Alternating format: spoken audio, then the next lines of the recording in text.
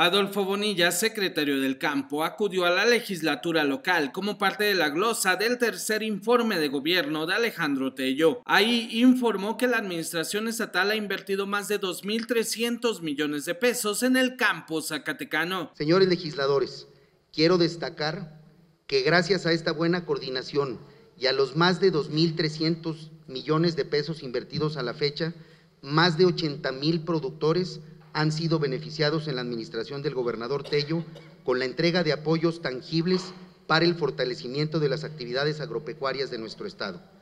Pero este es solo un bosquejo de las acciones realizadas.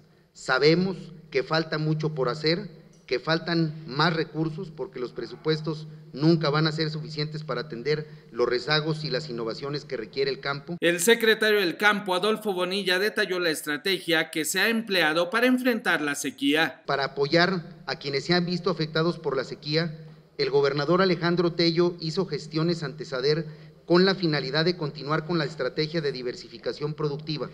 Y fue en este contexto a través del programa de concurrencia con entidades federativas que la SADER aprobó un recurso extraordinario por 46 millones de pesos que aunado a los 11.5 millones de pesos aportados por el Estado, nos ha permitido apoyar con semilla de avena a miles de productores en la entidad.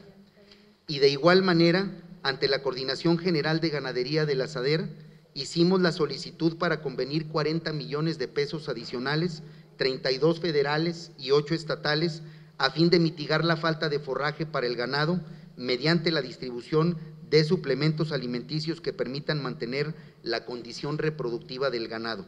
Estamos a la espera de una definición que esperamos sea favorable, ya que dicha solicitud en comento fue reiterada en su reciente visita al titular de SADER, doctor Víctor Villalobos. Con imágenes de Fernando Ochoa para Canal 15, Alfredo Jiménez.